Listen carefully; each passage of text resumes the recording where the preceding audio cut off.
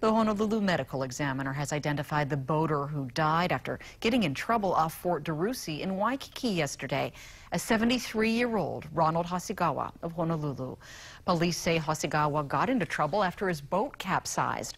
A surfer spotted him in distress, called for help, and started CPR. Lifeguards took over, took Hasegawa to shore, where he was pronounced dead.